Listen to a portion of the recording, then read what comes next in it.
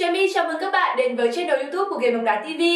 Đừng quên nhấn subscribe để ủng hộ Game bóng đá TV và nhấn chuông để nhận thông báo khi có những video mới nhất các bạn nhé. Các bạn đang đến với bản tin bóng đá cuối ngày của Game bóng đá TV. Hãy cùng chúng tôi đến với những tin tức đáng chú ý trong ngày hôm nay nhé. Messi tái xuất khiến cả World Cup phải run rẩy. Barca tàn tạ ở siêu kinh điển từ khi Messi rời đi. Ronaldo có thể bị treo giò, mũ gặp khó. Greenwood chính thức bị truy tố hậu scandal. Hãy cùng chúng tôi đến với những thông tin chi tiết và đừng quên dành ra một giây đăng ký kênh để ủng hộ chúng tôi nhé. Trước World Cup một tháng, mọi thông tin chấn thương của các ngôi sao luôn khiến người hâm mộ thót tim. Đội tuyển Pháp đối diện nguy cơ mất Paul Pogba trong khi đã chính thức xác nhận sự vắng mặt của N'Golo Kante. Đội tuyển Argentina thì đang lo lắng cho trường hợp của Di Maria và Dybala. Trong khi đó với việc Lionel Messi phải điều trị chấn thương dai dẳng, tất cả từ nghĩ tới việc anh khó dự World Cup. Đây là chấn thương Messi gặp phải trong trận đấu với Benfica tại UEFA Champions League vào ngày 5 tháng 10. Anh đã bỏ lỡ hai trận cho đội bóng thành Paris kể từ đó. Chính việc Messi liên tục trì hoãn thời điểm trở lại càng tăng thêm nỗi lo. Nhưng hôm qua, huấn luyện viên Christophe Gantier của Paris Saint-Germain cho biết Messi đã trở lại tập luyện. Nếu bình phục như mong đợi, tiền đạo Argentina có thể sẽ đá chính trong trận gặp Marseille. Nếu Messi xuất phát, anh sẽ lại có nhiệm vụ hỗ trợ Neymar và Kylian Mbappe để giúp Paris Saint-Germain có bộ ba tấn công mạnh nhất. Nên nhớ trong hai trận Messi vắng mặt, Paris Saint-Germain đã không thể thắng cả hai. Họ chỉ ghi một bàn và lại từ chấm penalty. Cộng với thống kê Messi đóng góp 5 bàn thắng và 7 pha kiến tạo trong 13 trận gia quân trên khắp đấu trường, có thể thấy vai trò của Messi là lớn đến nhường nào với Paris Saint-Germain. Nên nhớ, Marseille chỉ kém các nhà đương kim vô địch 3 điểm trên bảng xếp hạng và đang sở hữu hàng thủ tốt thứ nhì giải đấu với chỉ 7 bàn thua. Với một đối thủ khó chịu như vậy, rõ ràng Paris Saint-Germain sẽ rất cần những phút giây tỏa sáng của Messi. Không thể phủ nhận Messi ra đi đã khiến cho sức mạnh của Barca giảm đi đáng kể mỗi khi đối đầu với Real Madrid. Sự quan tâm của người hâm mộ trên toàn thế giới cho trận siêu kinh điển cũng không còn như trước. Vào lúc 21 giờ 15 ngày hôm nay 16 tháng 10, Barca sẽ có chuyến làm khách tới sân của Real Madrid. Đây là trận đấu quyết định trực tiếp đến vị trí dẫn đầu bảng xếp hạng La Liga khi hai đội bóng đang có cùng 22 điểm sau 8 vòng đấu. Đội bóng của huấn luyện viên Xavi chỉ hơn Los Blancos về hiệu số. Bởi vậy, cuộc đại chiến tại Bernabeu sẽ là bước ngoặt cho cuộc đua vô địch. Không thể phủ nhận, từ sau khi Cristiano Ronaldo và Lionel Messi ra đi, sức hút của trận đấu này đã giảm đi đáng kể, đặc biệt với Barca. Việc cầu thủ vĩ đại nhất trong lịch sử đội bóng chia tay Sanu Camp khiến sức mạnh của họ giảm đi đáng kể mỗi khi đối đầu với Real Madrid.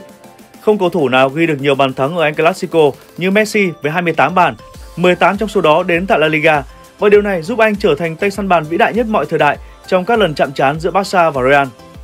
Ngay cả Ronaldo hay Alfresco Di Stefano cũng không thể so sánh với Messi về thành tích ghi bàn trong các trận El Clasico.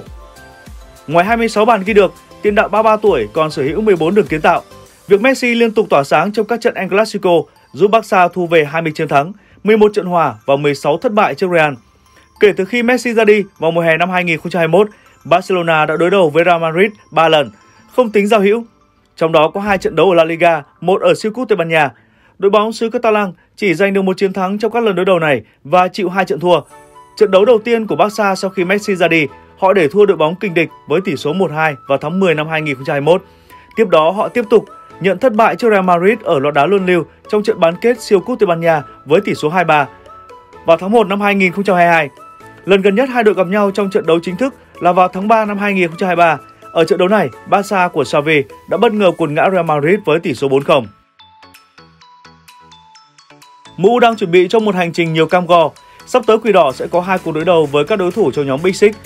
Ngay sau trận đấu với Newcastle vào lúc 20 giờ ngày 16 tháng 10, Quỷ Đỏ sẽ bước vào hai cuộc đại chiến với Tottenham vào lúc 2 giờ 15 ngày 20 tháng 10. Đến Chelsea 23 giờ 30 ngày 22 tháng 10. Một thông tin đáng lo ngại cho trận thương Malet sắp tới của thầy trò huấn luyện viên Erik ten Hag. Theo tờ Manchester Evening News, siêu sao Cristiano Ronaldo đã đứng trước nguy cơ rất lớn sẽ bị treo giò. Lý do vẫn là bởi vụ đập điện thoại của cổ động viên nhí trong trận MU Everton ở vòng 32 giải bóng đá ngoại hạng Anh mùa giải 2021-2022.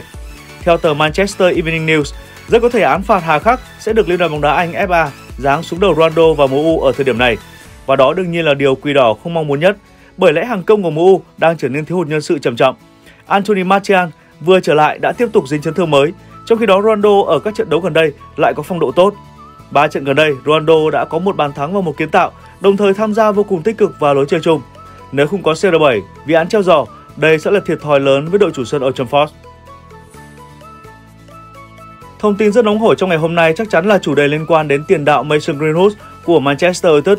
Anh đã bị cảnh sát Manchester bắt ngay tại nhà riêng sau khi vi phạm luật tại ngoại do cố gắng liên lạc với bạn gái. Theo Mens, không lâu sau khi bị bắt, tiền đạo người Anh cũng đã bị cảnh sát truy tố với ba tội danh mưu toàn hiếp dâm, mưu toan cưỡng chế và tra tấn, hành hung gây tổn hại thân thể. Cảnh sát Chris Manchester và cơ quan công tố đã thu thập đầy đủ bằng chứng về hành vi của Greenwood với bạn gái Harriet Robson. Tiền đạo sinh năm 2001 sẽ phải hầu tòa tại tòa án sơ thẩm Manchester và Sandford vào thứ hai ngày 17 tháng 10 năm 2022. Với tình hình hiện tại của Greenwood, thật khó cho anh có thể thoát án tù với những tội danh cực kỳ nghiêm trọng như vậy. Đồng thời sự nghiệp của cầu thủ này gần như cũng sẽ chấm dứt từ đây.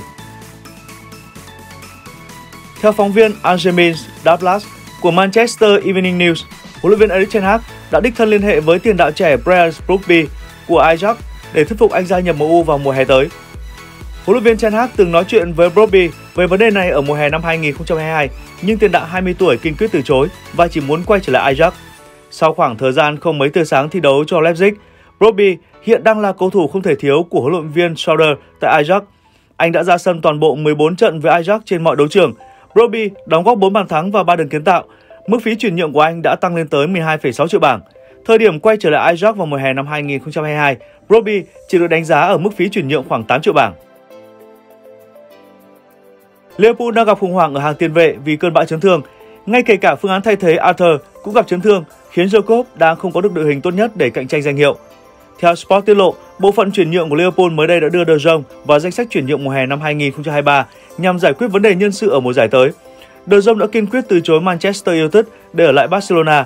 Giữa anh và Barcelona, khi đó có nhiều vấn đề liên quan đến tiền lương và hợp đồng thi đấu. Hai bên dự kiến sẽ ngồi lại đàm phán với nhau vào cuối mùa giải nếu không tìm được tiếng nói chung trong việc giải quyết các vấn đề, De Jong nhiều khả năng vẫn sẽ ở lại Barcelona cho đến khi hết hợp đồng vào mùa hè năm 2026. Điều này được coi là để gây áp lực cho Barcelona nhằm trả hết số tiền lương theo đúng hợp đồng đã ký hồi năm 2020. Theo Daily Mail, Liên đoàn bóng đá Anh FA đã bày tỏ thái độ không hài lòng với Chelsea vì chấn thương của Rich James. Hậu vệ người Anh đã gặp chấn thương đầu gối trong trận đấu với AC Milan tại vòng bảng C1. Sau đó anh đã không quay trở lại Anh ngay mà có một ngày nghỉ ngơi cùng các đồng đội tại Milan Điều này khiến FA không hài lòng vì cho rằng Chelsea cần đưa James đi kiểm tra và có những hành động bảo vệ nhằm giúp anh hạn chế mức độ nghiêm trọng của chấn thương.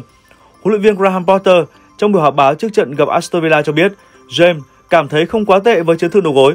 Tuy nhiên, báo chí Anh tiết lộ James có thể vắng mặt tới 8 tuần vì chấn thương này. Điều này đồng nghĩa James có thể bỏ lỡ World Cup năm 2022 của đội tuyển Anh. Ngoài James, Wesley Fofana và N'Golo Kante vẫn chưa hẹn ngày trở lại. Bản tin bóng đá tối ngày hôm nay đến đây kết thúc. Xin kính chào và hẹn gặp lại. Hiền bóng đá, kết nối niềm đam mê túc cầu